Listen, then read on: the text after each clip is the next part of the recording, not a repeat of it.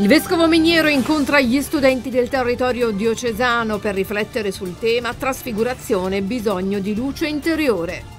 La comunità di Vallo a lutto si è spenta Luigina Palladino, storica dipendente del comune vallese. Intanto a Sala Consilina non ce la fa, l'anziano rimasto gravemente ustionato davanti al caminetto. Brumotti pronto a raccontare a bordo della sua bici le bellezze del Parco Nazionale del Cilento, Vallo di Diano e Alburni, a Roma la proposta del presidente Pellegrino e del ministro Costa. Nel Vallo di Diano lo spettacolo delle cicogne. Ad Agropoli è Sapri tutto pronto per il Carnevale 2019, la corrida di Agropoli in diretta su Set TV. Benvenuti e ben ritrovati, nuovo appuntamento con le informazioni di 7 TV, un bel momento questa mattina presso la Sala La Provvidenza di Vallo della Lucania. Il Vescovo eh, Ciro Miniero ha incontrato una folta rappresentanza di studenti, sono arrivati da Agropoli, da Capaccio naturalmente dagli istituti superiori di Vallo della Lucania. Momento di incontro, di confronto sul tema trasfigurazione, beh, ehm, eh, bisogno di luce interiore. E il Vescovo naturalmente naturalmente è stato accolto con un lungo applauso. Vediamo.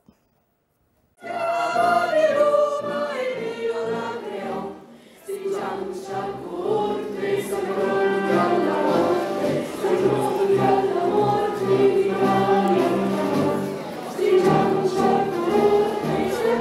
Sono arrivati da Capaccio e Agropoli per unirsi agli studenti di tutto il Cilento che ogni giorno frequentano gli istituti superiori di Vallo della Lucania. Una bella delegazione di giovani arrivati presso la Sala Provvidenza per incontrare il vescovo Monsignor Ciro Miniero.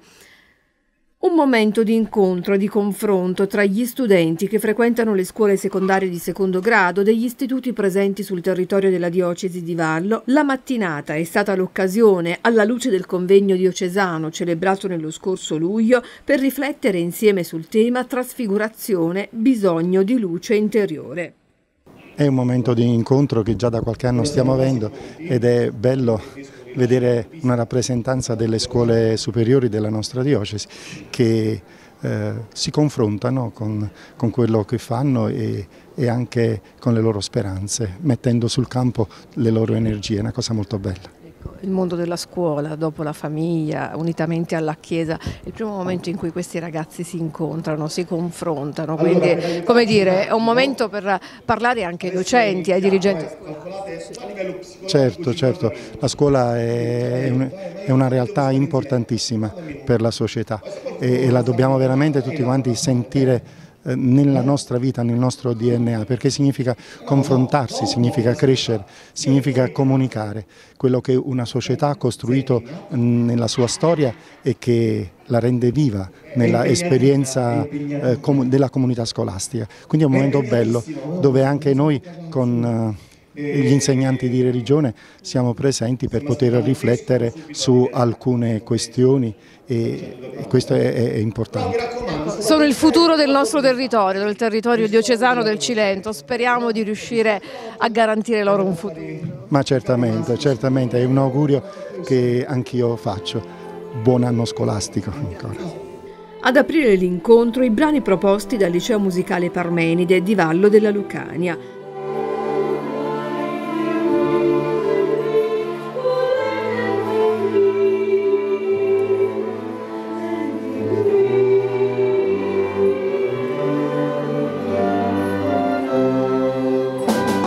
Ad animare l'incontro Don Aniello Carinci dell'Ufficio Diocesano per la Pastorale Scolastica, in prima fila i dirigenti scolastici.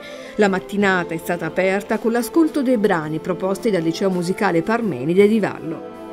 Sì, arrivare al cuore di questi ragazzi ma soprattutto far nascere in loro quella, quel desiderio di andare in profondità, la loro coscienza attraverso un momento di riflessione. E questo momento di riflessione nasce dalla volontà del Vescovo di raccordare un poco tutti gli istituti presenti sul territorio diocesano e dare loro l'opportunità di incontrarsi. Il suo messaggio a questo eh. giovane che parleggia? Tanto giovanotto non sono, comunque eh, ho lo spirito giovanile da, mm, da comunicare, eh, da comunicare loro la, la, bellezza della vita e di ricercare in essa le opportunità che essa ci dà. Il mondo scolastico è il primo momento in cui i ragazzi ecco, si incontrano e si confrontano, quindi un momento di fondamentale importanza. Già il tema, no? trasfigurazione, luce, bisogno di luce interiore, eh, indica il cammino del ragazzo a ricercare dentro di sé quella luce, anche attraverso i vari strumenti, eh, la parola del Signore, lo studio, quindi la conoscenza, per arrivare a delle scelte motivate, e quindi essere più che risultare essere un problema, la realtà giovanile dovrebbe essere veramente un'energia anche per il nostro territorio. In prima fila i dirigenti scolastici, noi abbiamo ascoltato Massanova, dirigente scolastico dell'Istituto Parmenide che quest'anno ricordiamo compie 100 anni e poi Cosimo Petraia, dirigente scolastico del Cenni Marconi. Sentiamo. È bello vedere qui riuniti tanti giovani da tutte le scuole eh, della diocesi di Vallo ed è da apprezzare il nostro Vescovo per questo tipo di iniziativa perché penso che la voce della Chiesa quindi sia, anche, sia importante, eh, soprattutto in un periodo come questo in cui eh, un po' le certezze vacillano, per cui mh, avere anche eh, un'idea di quello che l'agenzia, chiamiamola così, va, più antica che esiste ci dice, penso che sia importante. Ecco. I ragazzi devono avere dei riferimenti, voi dirigenti scolastici siete un po' come dei padri no? all'interno di un istituto.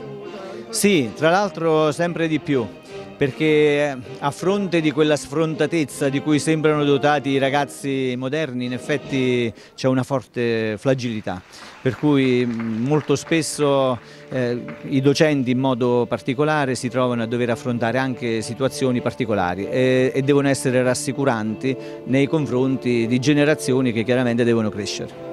Certo, oggi è una giornata importante voluta dal Vescovo Ciro Miniero, ogni anno incontra i ragazzi del primo anno dei vari corsi di studio di Vallo. È un momento per augurare loro uh, tutto il bene per il percorso di studi che stanno per affrontare, stanno, hanno iniziato ad affrontare ed è un momento anche per riflettere su quello che è la tematica del giorno, la trasfigurazione e la luce praticamente di cui i nostri cuori hanno bisogno come i nostri occhi hanno bisogno del sole, diceva Sant'Agostino insomma. Quindi è una giornata molto bella e importante. Io fra le altre cose sono onoratissimo perché vado a fare un saluto per, eh, in nome di tutti i dirigenti delle scuole di Vallo, insomma. Quindi bellissima giornata. Lei rappresenterà la scuola? Certo, rappresenterò la scuola, farò, sarò semplicemente un saluto il mio, non un intervento, però sono onorato veramente di... Il messaggio che deve arrivare a questi ragazzi sono il futuro del Cile. E che, e che devono lavorare con passione, con il cuore. Se non c'è passione non si raggiunge nulla. Questo è il problema. Bisogna affrontare il corso di studio, qualunque esso sia, perché la nostra società ha bisogno di tutti gli indirizzi di studio. Non ce n'è uno più importante di un altro. Bisogna però lavorarci con passione per cercare di raggiungere quelle competenze che poi servono nella vita. Le competenze che ogni indirizzo di studio, qualunque esso sia, dà perché saper leggere, scrivere come si diceva una volta o adesso dire comunicare nella lingua madre, comunicare in una lingua straniera, imparare ad imparare, leggere e comprendere un testo, I, le, diciamo eh, la cittadinanza attiva, quindi avere coscienza di essere un cittadino, conoscere quella che è la nostra Costituzione, il nostro regolamento, quelle che sono le leggi sono principi questi che, e competenze che dà qualsiasi scuola, le competenze digitali, cioè oggi realmente la, tutti gli indirizzi. Poi ogni scuola si differenzia per le, le, materie specifiche di indirizzo e i giovani però devono affrontare questi, questi percorsi di studio con la consapevolezza di quello che hanno scelto la, e lo devono affrontare con la passione. Andiamo avanti con una triste notizia, la comunità di Vallo della Lucania a lutto per eh, l'improvvisa scomparsa di Luigina Palladino, eccola qua, la vediamo e la ricordiamo in questa foto storica dipendente del comune di Vallo della Lucania. Beh, Luigina è stata ritrovata priva di vita questa mattina all'interno della sua abitazione, il decesso a seguito uh, di un malore. Una morte improvvisa che naturalmente ha sconvolto tutti i colleghi di lavoro ma ha sconvolto l'intera comunità di Vallo. Luigina, ecco, ha dedicato la sua vita al servizio della comunità vallese e non solo proprio quale dipendente eh, del comune di Vallo della Lucania. Ci uniamo pertanto come redazione anche a nome dell'editore Giorgio Scelza al momento di dolore che ha colpito la uh, famiglia Palladino e dunque la grande famiglia del comune di Vallo della Lucania. Altra tragedia, quella che arriva dal Vallo di Diano dove Pasquale Lopardo di 89 anni non ce l'ha fatta, si tratta dell'anziano rimasto gravemente ustionato a Sala Consilina dopo essersi addormentato vicino al caminetto. A trovarlo ricordiamo il fratello già in gravissime condizioni, ebbene dopo un giorno di agonia il decesso eh, nell'ospedale di Brindisi dove era stato eh, ricoverato e trasferito in soccorso dopo un primo momento di ricovero all'ospedale di Polla. Le scintille del caminetto hanno hanno avvolto coperta e abiti e sono state troppo gravi le ustioni riportate. Cronaca, i carabinieri della compagnia di Agropoli, diretta dal capitano Manna, nella mattinata del 28 febbraio hanno dato esecuzione alla misura cautelare della custodia in carcere nei confronti di un 36enne polacco dimorante a Laureana Cilento. Lo straniero eh, lo scorso 17 febbraio era stato tratto in arresto dai carabinieri della stazione di Santa Maria di Castellabate per il reato di furto aggravato in danno ad un esercizio di ristorazione lo stesso successivamente sottoposto alla misura cautelare del divieto di dimora. Il 21 febbraio era stato sorpreso dai militari di Torchiara mm, fuori dalla propria abitazione in orario notturno, quindi in violazione delle prescrizioni eh, imposte dal giudice per le indagini preliminari presso il Tribunale di Vallo della Lucania. E voltiamo decisamente pagina, torniamo a Roma dove ieri mattina è stato presentato alla presenza del Ministro dell'Ambiente Sergio Costa e del Presidente dell'Ente Parco del Cilento Vallo di Diano e Alburni Tommaso Pellegrino il cortometraggio realizzato da uh, Brumotti inviato di Striscia la Notizia, cortometraggio che rende omaggio anche al territorio cilentano e nell'occasione ecco, il Presidente Pellegrino ha avanzato a Brumotti la proposta di realizzare un lavoro esclusivo esclusivamente nel territorio dell'area protetta. Vediamo. Abbiamo già firmato, abbiamo già definito e credo entro Pasqua già decollino. Prima, ecco, così vuol dire prima di Pasqua. Si è tenuta ieri a Roma la presentazione di Brumotti per l'Italia, un documentario di un tour di 19 giorni alla scoperta dell'Italia. La presentazione è avvenuta presso il Ministero dell'Ambiente alla presenza del ministro Costa, di Marco Magnifico, vicepresidente esecutivo FAI, del presidente del Parco Tommaso Pellegrino e di altri rappresentanti del territorio. Protagonista quindi anche la provincia di Salerno e in particolare la costiera malfitana e il comune di Camerota.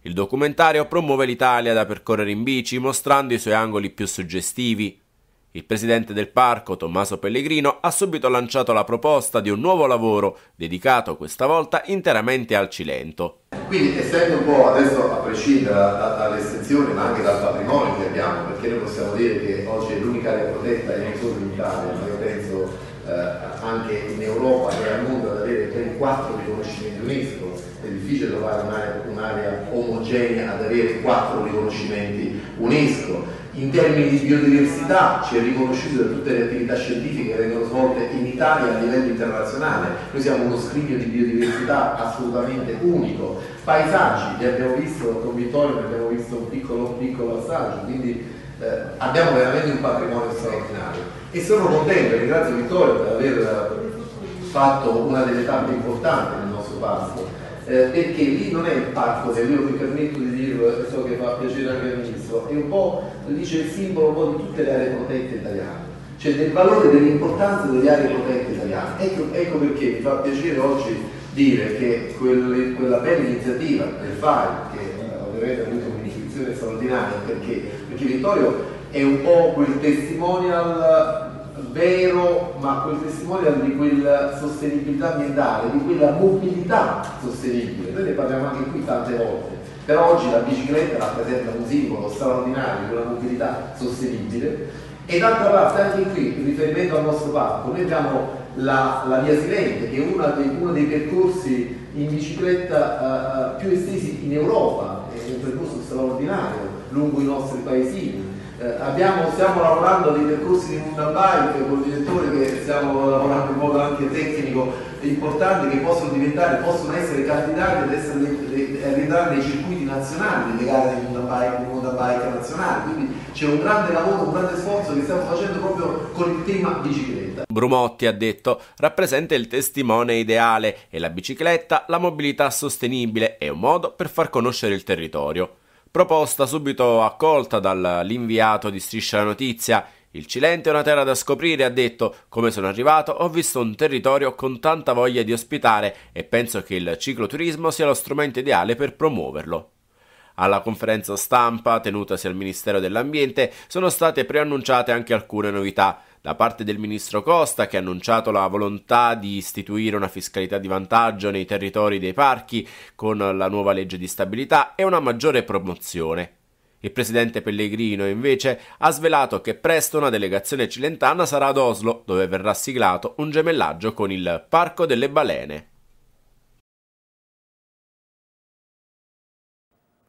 E la conferenza stampa di ieri mattina a Roma è stata l'occasione anche per riflettere sulle tematiche ambientali. Ha apprezzato l'intervento di Antonio Del Monaco, parlamentare, membro della seconda commissione sulle ecomafie. Noi l'abbiamo intervistato. Purtroppo eh, anche il Cilento non è lontano da quelle che sono, eh, possiamo dire, queste manifestazioni di natura criminale e tra l'altro anzi bisogna preservare un'area così bella, eh, così eh, importante dal punto di vista paesaggistica e turistica e dobbiamo cercare eventualmente di evitare eh, di, ehm, che questo tipo di manifestazione criminale possano continuare ad avvenire in questi territori. Purtroppo già di per sé la Campania avuto una brutta esperienza per quanto riguarda la Terra dei Fuochi.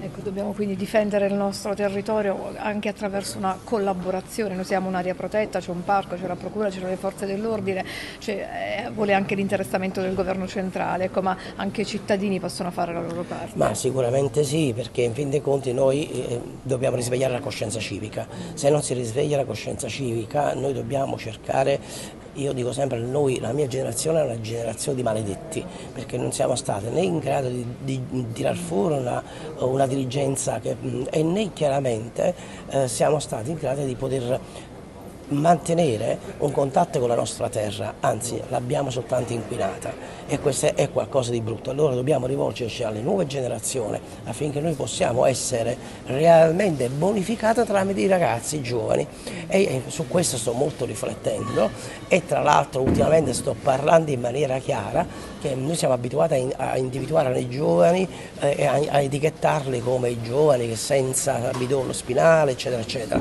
Invece io credo molto nei giovani Credo molto nei giovani, anzi, più che parlare di complessi, ultimamente si parla di complessi di telemaco, ma si parla di complessi di. Io avevo etichettato un altro complesso, quello di antenna. Io sto, mi farebbe piacere parlare di risorse. E infatti, parlando di risorse, io voglio parlare di sorgente dell'Enea. Sorgente di Enea che cos'è? In fin dei conti Enea, quando andò via da, da, quindi, da Troia, portò con sé sulle spalle il papà e davanti i figli. Quindi io credo molto nei giovani che potranno realmente portare questo cambiamento. Cambiamento significa realmente portare noi e i figli futuri in una nuova terra, in un nuovo orizzonte che sicuramente sarà ben lontano dall'inquinamento dell'ambiente.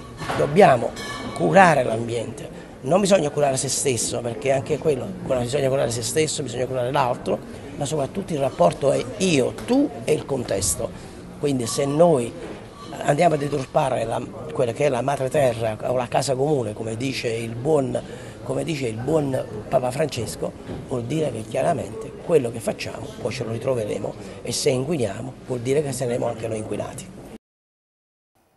A Vallo della Lucagna per un intervento del consigliere comunale Nicola Botti sul piano di zona in modo particolare sul micronido della scuola Luinetti. Ebbene, in un eh, post pubblicato su Facebook Nicola Botti mette in evidenza che il piano di zona S8 con comune Vallo Capofila aveva affidato alla cooperativa GEA il servizio di ludoteca denominato Spazio Bambini, nonché il servizio eh, micronido. Il, eh, tutto è scaduto il 26 gennaio scorso, è scaduto quindi il rapporto di affidamento e veniva concessa una proroga fino al 15 febbraio, tanto in spregio alla legge, dice Botti, che non consente l'istituto della proroga per il rapporto di affidamento. Ricorda ancora Botti, successivamente scaduta anche la proroga, i servizi sono stati ad oggi svolti senza alcun titolo, il tutto con prevedibili ripercussioni sia per la corretta funzionalità del piano che per la posizione dei minori in ordine alle coperture assicurative. Sono ormai finite, dice Botti, le parole in grado di raccontare, secondo lui, l'incapacità e l'indifferenza dimostrata da chi oggi gestisce il piano di zona che senza la nomina coscienza politica ne ehm, avvalla l'operato, quindi il riferimento al comune capofila di Vallo. Invita quindi tutti i genitori ad unirsi per far sì che tale situazione venga regolarizzata perché il benessere e la sicurezza dei bambini, dice Botti, è un'esigenza eh, primaria. Nel Vallo di Diano per ammirare insieme lo spettacolo delle cicogne. Sono immagini mozzafiato quelle che stamattina ci hanno regalato alcune cicogne in volo sulle campagne tra Polla e Sant'Arsenio. Un gruppo di ben 16 cicogne infatti ha riempito il cielo azzurro di questa calda giornata di fine febbraio con voli e giochi nell'aria. Ali bianche e lunghi becchi davanti agli occhi di tanti increduli appassionati di birdwatching e non si è presentato uno spettacolo offerto dalla natura eguagliabile a pochi. Le cicogne dunque confermano il loro legame stretto con il Vallo di Diano. Già 15 giorni fa era arrivato il primo esemplare di cicogna maschio, atteso come ormai accade da diversi anni, lo splendido esemplare aveva fatto capolino nelle campagne circostanti il traliccio Enel di località Termini a Sala Consilina per esplorare l'area e per preparare il nido. Non è stato facile però per lui salire sul grosso nido. Nel corso dei mesi invernali, infatti, rifiuti ed erbacce si sono accumulati sul traliccio Enel Enel, tanto da scoraggiare il maschio di cicogna a salire sul nido. È stato grazie all'intervento di una squadra dell'Enel coordinata da Michele Cartolano che è stato possibile salire sul traliccio e ripulire il nido. Ora la bianca cicogna può lavorare all'alcova nella quale nasceranno i suoi piccoli. Il giovane maschio infatti, stando alle immagini di stamattina, ha a disposizione un nutrito gruppo di cicogne tra le quali scegliere la sua amata e siamo certi che la loro unione ci regalerà ancora tante splendide immagini. Gli amanti del birdwatching dunque sono avvertiti, nasi all'insù ed obiettivi pronti a scattare. La cicogna è di nuovo nel Vallo di Diano.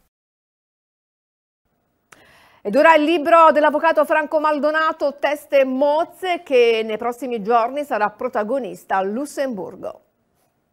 Che l'Inghilterra eh, fosse rimasta scandalizzata, indignata per la, per la, uccisione di un deputato del Regno delle Due Sicilie in carica e per la, copertura che Ferdinando II personalmente ritenne di dover dare all'assassino di quel deputato, perseguitando i giudici che procedevano nei suoi confronti, eh, anziché agevolando eh, l'iniziativa giudiziaria, eh, per eh, gli inglesi rappresentasse una ragione per la quale non era più condivisibile eh, la fedeltà alla Santa Alleanza. Ricordiamo che Inghilterra, eh, Germania, Austria eh, e tutto lo scacchiere delle cancellerie europee furono tutti concordi eh, a Vienna eh, nel riportare sul trono delle due Sicilie i Borboni che ne erano stati eh, allontanati con l'esperienza murattiana. E pur eh, eh, ciò nonostante quando il regno delle due Sicilie atteggiò la sua politica interna in maniera tale da far dire a Gladstone che era la negazione di Dio eh, in terra, eh, beh io credo che in questo risieda eh, l'indignazione degli inglesi e eh, il primo isolamento internazionale di Ferdinando e di Casa Borbone. Abbiamo detto un libro storico ma in qualche modo di grande attualità. Credo di sì, credo di sì perché anche in relazione alla decisione del 36esimo Salone del Libro di Lussemburgo eh, può mh, vedersi in questo romanzo storico ehm, il fortissimo legame che univa già in quel momento eh, l'Italia al resto d'Europa e la risonanza che le vicende italiane giustamente eh, riscuoteva presso le cancellerie europee e quindi sotto questo profilo mi sento di poter condividere la sua osservazione. Il prossimo 3 eh, marzo la seguiremo, allora la seguiremo a distanza, la seguiremo naturalmente non appena lei rientrerà, ecco ci rappresenterà, rappresenterà uh, il territorio uh, cilentano, ma non solo, rappresenterà insieme ad un altro illustre autore l'Italia a questo importante evento che è la più importante fiera dedicata al libro. Sì, di, di quel paese, eh, il Lussemburgo, nel quale c'è una comunità di 30.000 italiani eh, che credo saranno in parte presenti a, al confronto che io avrò con la dottoressa Giovanna Agnello che è una funzionaria del Parlamento europeo e che mi intervisterà sui contenuti del libro. Beh, un'ampia intervista realizzata con l'avvocato Maldonato su questo importante appuntamento, potrete seguirla sul nostro canale 7TV YouTube e naturalmente sui nostri social. Ora ad Agropoli dove è tutto pronto per la 48esima edizione del Carnevale, tra gli appuntamenti l'attesissima corrida eh, di domani sera, sabato 2 marzo e ricordiamo l'evento sarà eh, ripreso e proposto in diretta dalle nostre telecamere.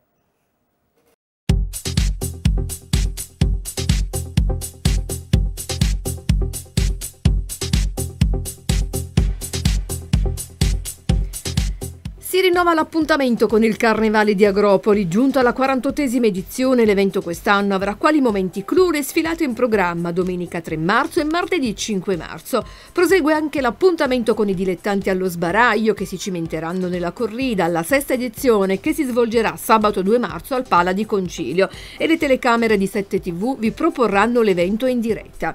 Sono numerosi poi gli eventi collegati che renderanno la manifestazione più attesa dell'anno davvero speciale. La tradizione del carnevale, ribadisce il sindaco Adamo Coppola, continua anche quest'anno, un impegno che è iniziato con largo anticipo rispetto al mese di marzo, nel quale quest'anno ricade l'evento.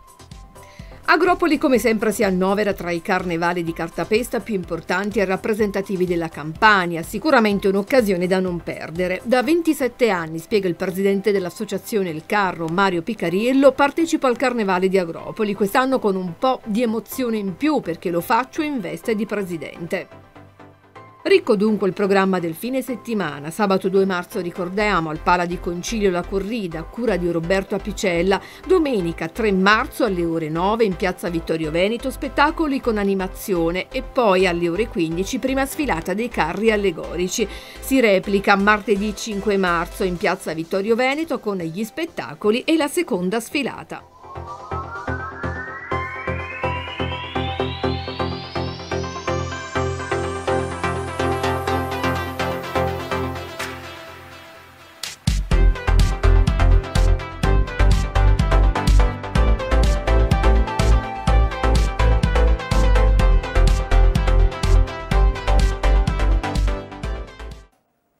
E anche Sapri si prepara a celebrare il suo carnevale, Sapri in maschera 2019, tutto pronto ecco, per questo lungo fine eh, settimana. Si inizia eh, sabato 2 marzo e poi il momento clou naturalmente martedì 5 eh, marzo. L'appuntamento per sabato 2 è il raduno delle maschere in piazza Plebiscito alle ore 15, domenica 3 invece il raduno in piazza Plebiscito alle 14.30. Il tutto tutto in attesa del eh, martedì grasso per celebrare il Carnevale 2019, momento atteso naturalmente da grandi e piccini.